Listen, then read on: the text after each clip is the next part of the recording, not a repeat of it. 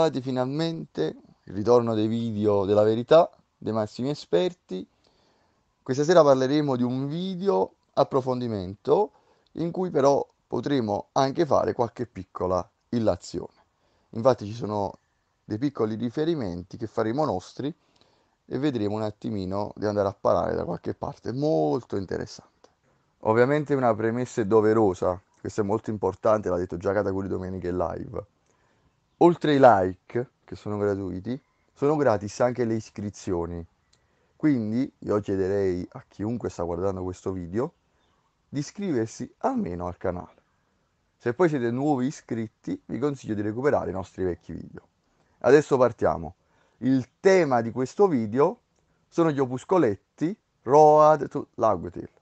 Per adesso sono tre, volume 1, volume 2 e volume 3. Questi opuscoli narrano diverse storie inerenti a One Piece.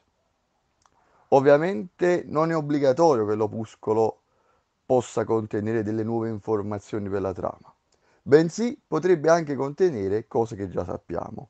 Inoltre, questi manoscritti che verranno contenuti al loro interno, fatti e disegnati da Shiro Oda, potrebbero essere delle storie che lui ha scartato e che non sono più comparse all'interno del manga. Cioè delle bozze che lui aveva pensato inizialmente e poi ha modificato durante la narrazione.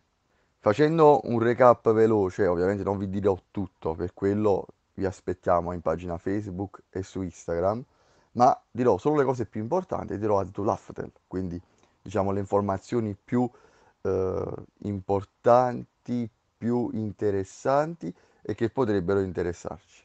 Nel primo volume Infatti ci sarà un riassunto sui Rocks, vari design raffiguranti Luffy e la ciurma, Momonosuke adulto, Oden, i tre daimyo del flashback di Yamato, quindi tra cui Ushimaru Shimotsuki, ci sarà anche il vecchio Kozaburo e altre informazioni di questo tipo. Andiamole a vedere in dettaglio. Innanzitutto Oden Kozuki, non c'era la transizione temporale dei 5 anni di attesa, cioè quando balla. Nell'arco narrativo lui avrebbe fatto seppuku o seppuku. Il suo obiettivo principale era unificare il paese e non conquistarlo da questo punto di vista, nel senso prendere il potere. Oden doveva avere un gatto di nome Mamoshi. Poi, sempre Oden, non doveva chiamarsi Kozuki inizialmente, il suo cognome non doveva essere Kozuki, ma doveva essere Tsukikage Oden. Sempre veramente con un collegamento alla luna, perché Tsukikage è ombra lunare, Kozuki è luce lunare. In una fase iniziale Oda aveva previsto, aveva pianificato quattro foderi rossi. Giushiro della nebbia, che doveva morire, Kinemon Foxfire, che è sempre lo stesso, Muzan della nebbia. Ci ricordiamo ovviamente Kimetsu no Yaiba, che doveva essere tipo Kanjuro perché maneggiava il pennello. Corvo Nero Raizo, un donnaiolo. Successivamente diventarono sette, i sette ruffiani, i sette bastardi del paese di Wano. Doccia serale Kanjuro, Raizo della nebbia, Kinemon Foxfire. Poi c'era lo scalpellino, Stone Man, doveva essere Itetsu del vento. Quindi Tenguyama e Tetsu inizialmente stavano nei foderi rossi. C'era Shuntemaru, che poi è diventato Ashura, poi c'era uno definito Pisolino, il ragazzo dell'ora della strega, sarebbe, come conosciamo, Denjiro Ushimizu Gozo, e poi c'era Kawamatsu. Ci sono altre info come degli schizzi di Oden, degli schizzi di Mugiwara, degli schizzi dei Foderi Rossi, degli schizzi dei vari personaggi, varie sketch, varie gag tra Momonosuke, Nami e Robin e così via. Però la cosa importante su cui io mi soffermerei, c'è anche uno schizzo molto interessante dei tre capitani quando stanno per arrivare lì ad Onigashima, ma la cosa importante che viene fuori qui e su quale ci soffermiamo su Road to Laftel 1 è quello di dove potrebbe trovarsi il quarto, Road Poneglyph. Tre isole ci dà questo opuscoletto. Elbaf, l'isola dei giganti. Acinos Island, l'isola dei pirati quartier generale dei pirati di Barba Nera, ex Pirati Rocks. E infine Vira, dovrebbe essere così che si pronuncia Vira, Vera, Insomma, è un'isola che menzionò Nami in passato, è un'isola sul quale arrivò, visitò Mont Blanc Noland, ve lo ricordate, no? Il passato dell'isola nel cielo, che poi venne definito il bugiardo, eccetera, eccetera. E infine è l'isola che venne, tra virgolette, salvata dall'armata rivoluzionaria. È molto importante questa informazione perché possiamo farci un'idea. Queste potrebbero essere le tre isole chiavi. Ovviamente non è detto che sia su una di queste tre, ma se lo fosse, e beh, c'è stato un mezzo spoiler, anche se già in molti avevano pensato ad Elbaf. Inoltre ci sono anche delle piccole informazioni dei Pirati Rocks. Eh, la più importante, tra virgolette, è che l'equipaggio si formò 44 anni fa e venne distrutto 38 anni fa a God Valley e quindi praticamente l'equipaggio del nemico più forte di Roger, così è stato definito in questo opuscolo, cioè Rox di G-Beck, è durato praticamente 6 anni solamente. Adesso passiamo al secondo opuscoletto di Road to Laftel. In questo secondo volume si punta di più sugli imperatori, infatti in copertina vediamo Teach e Shanks, sull'altra copertina invece c'era Roger, è molto importante, però si parla anche ovviamente di Kaido e di Big Mom, su quale ci sarà un focus maggiore, soprattutto sullo Yonko, l'imperatore dragone. Allora, conterrà degli schizzi sui vari Topiroppo, sulle calamità e su altre informazioni che adesso vi vado ad esplicare. Allora, ci sono vari schizzi dei vari design di Kaido, di King, di Queen, di Jack, di Topiroppo, con varie curiosità. Innanzitutto i progetti iniziali di Kaido ibrido erano con una forma più draconica, più lunghi artigli, più in forma drago, cioè la forma ibrida era meno umana, che poi, tra virgolette, è comunque mostruosa quella che alla fine è venuta fuori, però in quel caso era ancora più pazzesca. Inizialmente il titolo delle All Star doveva chiamarsi Face Cards. I vari nomi dovevano essere Ace, Shuffle, Cut, Trick, Deck, Chip. Poi sono stati modificati ovviamente.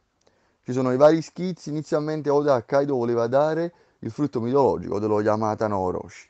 Il frutto del Brachiosauro doveva passare a Jack, il frutto dell'Opteranodonte doveva andare a Queen. Poi vediamo vari schizzi di King con varie personalità che Oda, diciamo, voleva attribuirgli. Poi vediamo delle informazioni su Black Maria. Doveva avere ancora altri due frutti, cioè Oda scelse fra i tre.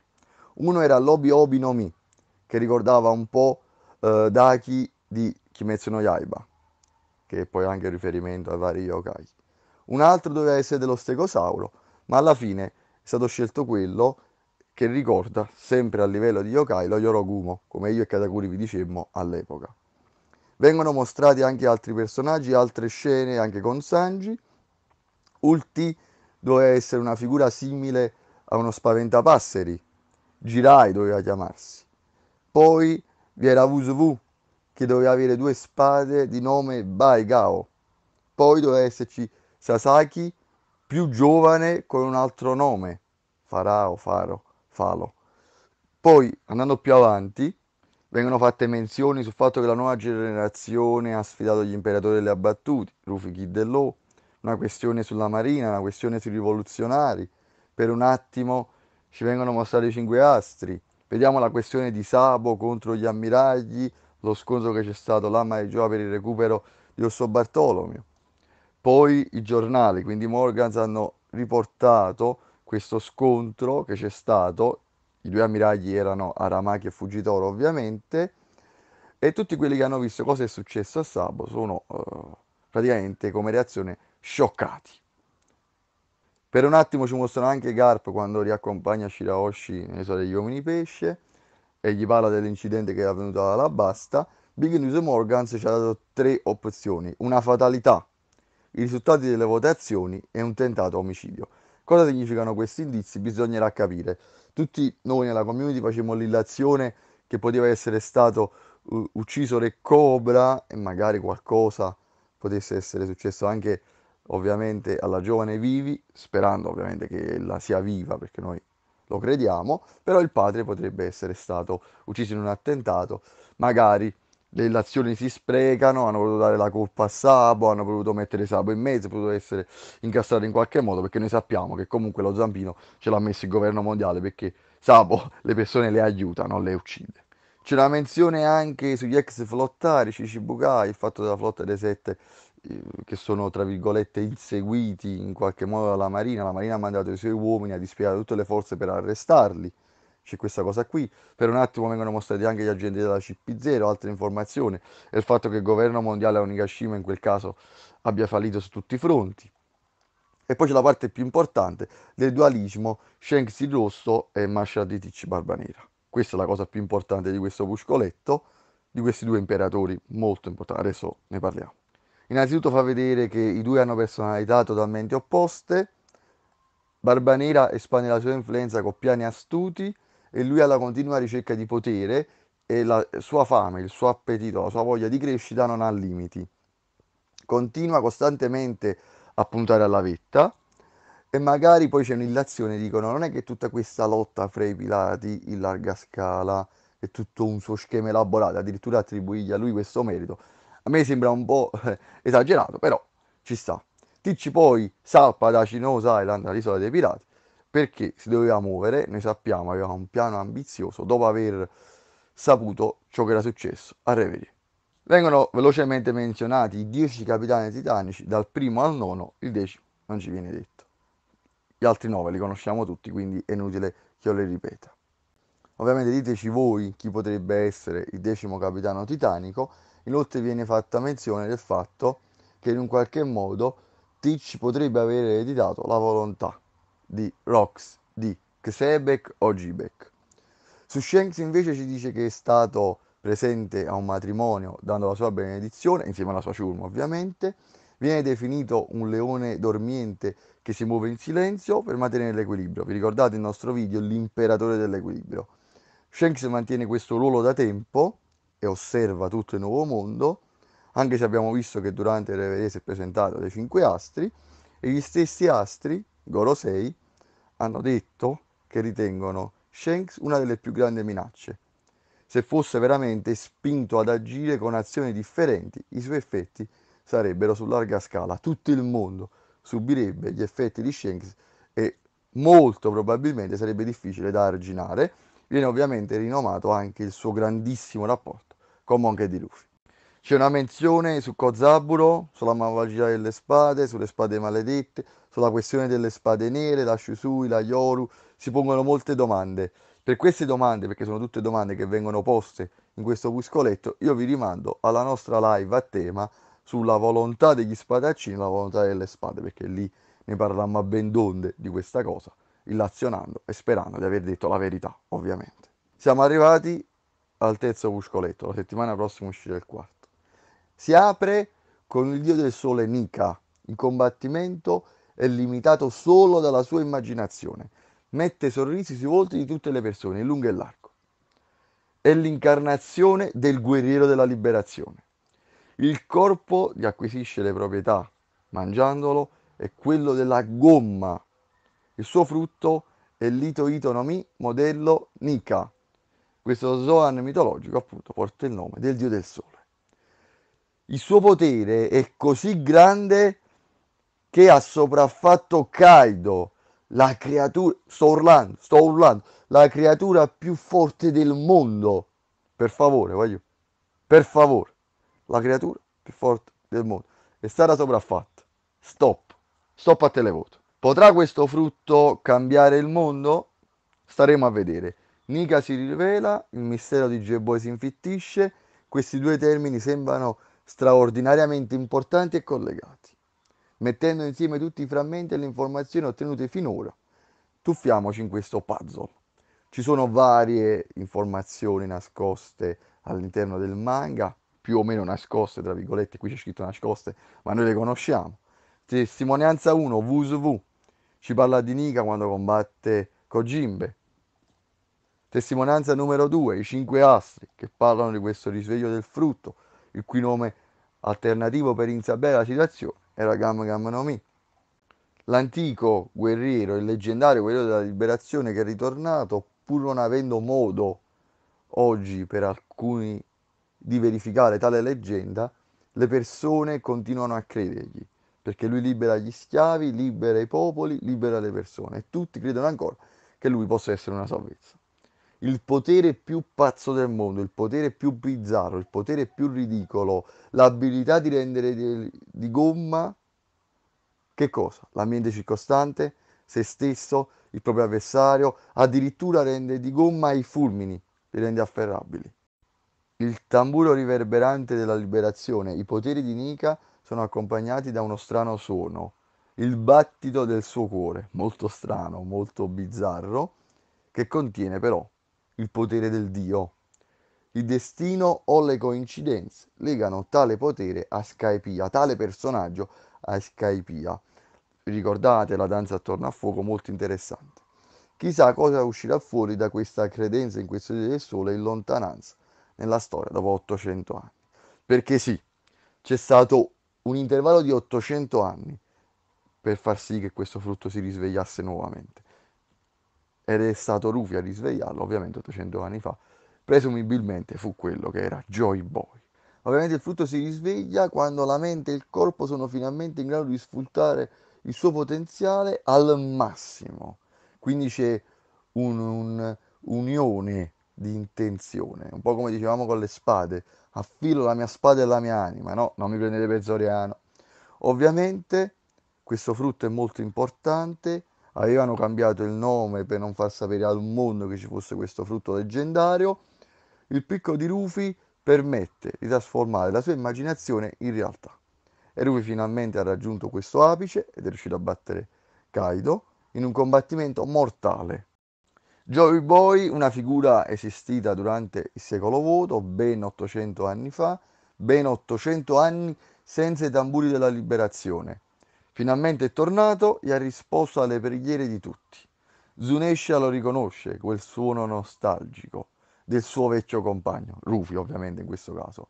La principessa Sirena conosceva il G-Boy antico e anche egli era in grado di comunicare con i re dei mari. Incredibile era in grado di sentirli. Era anche conosciuta come l'arma ancestrale Poseidon. Si dice che un altro ragazzo molto simile a Jeboy sarebbe tornato un giorno per guidare l'attuale Poseidon, cioè Shiraoshi, e quello è Rufi. C'è ovviamente una lettera di scuse della promessa da mantenere molto tempo fa, incisa su Poneglyph, nell'isola degli uomini pesce, e ovviamente Luffy manterrà tale promessa, portare in superficie gli uomini pesce. Vabbè, poi viene detto che lo attendevano da secoli, che gli uomini pesce lo stanno aspettando, il fatto che Roger quando arrivò lì all'ultima isola Laftel era colmo di gioia nel leggere tutte le informazioni, il fatto che oramai è tornato, il fatto interessante che però noi avevamo detto nel video di Ria su Rufi, che il frutto di Rufi viene categorizzato sia come paramiscia che come zoane mitologico. Quindi viene spiegato sia il Gam Gam no Mi che Lito Itonomi modello Nika e questa è una cosa molto interessante. Poi dopo vengono divise le tre categorie dei frutti che sono Paramiscia, Roglia e Zoan e vengono date proprio un'elencazione che non finisce mai, che io eviterei di leggere, ma più che altro vi rimanderei insomma eh, agli post su Instagram e Facebook per leggerveli voi, perché altrimenti veramente non finiamo mai. Ovviamente ci parla di come vengono utilizzati i frutti, come vengono utilizzati i roglia, come fanno i paramiscia, come sono gli zoan, gli eventuali risvegli, le capacità eh, da parte degli zoan di essere rigenerati, di avere questa forma potente, il fatto dei roglia, il fatto che si trasformano nell'elemento, no? il magma, eccetera, eccetera, di come invece i paramiscia riescono a modificare anche l'ambiente circostante, c'è l'esempio di Doflamingo eccetera, eccetera, eccetera. Quindi sappiamo già quelle cose e vi rimando a leggere questa elencazione tassativa dei frutti e dei loro possessori. In questo caso ci sono varie bozze di Yamato, perché Oda aveva varie idee sulla figlia o il figlio di Kaido come preferite. Inizialmente eh, ha avuto varie idee, una diversa dall'altra. La voleva rendere più femminile, la voleva mettere eh, con un aspetto più longilineo, voleva renderla eh, facente parte della tribù dei tre occhi. Inizialmente, infatti, non voleva mostrare la sua identità e c'è la maschera dell'Agnia. Inizialmente non gli voleva dare il canavo, bensì una spada quindi poteva essere sia una spadaccina che una Honeyime, maestra di arti marziali, quindi una principessa demoniaca che però era fortissima nelle arti marziali. Ho avuto vari concept, varie sfaccettature, vari schizzi che ci sono per la questione della nostra Yamato. Speriamo molto presto in giorno. Ci sono altre piccole informazioni, altri concept, le mosse, queste cose così, io vi rimando lì ai post che sono su Facebook e su Instagram, altre piccole informazioni, altre piccole bozze su Yamato, molto interessanti, il fatto che alcune bozze parlasse come Oden, il fatto che usasse Boku, Ore, Sesh, il fatto che volesse prendere il mare con Ruffy e così via. E alla fine c'è una mappa, un recap dei vari personaggi nelle zone di Wano prima della partenza di Onigashima, la divisione del primo e secondo atto con delle informazioni molto generiche e poi c'era la suddivisione delle regioni. Come avete visto, praticamente ci sono molti recap delle informazioni, qualche informazione nuova, lo sapremo solo alla fine se poi ci sarà stato spoilerato qualche dettaglio. Ovviamente venite a dirci voi cosa ne pensate di questi primi tre opuscoli, se vi sono piaciuti, se avete avuto un'idea, se volete fare un'illazione, se volete dare una conferma, se volete fare un commento da sfogliatori. Soprattutto iscrivetevi, lasciate like e mettete l'hashtag Road to Laughter, per favore, Road to Laughter. Detto questo, attivate la campanella, passate da tutti i nostri social in descrizione, iscrivetevi. Un bacio a tutti, dal capitano ma anche da Katakuri. Come sempre, solo la verità.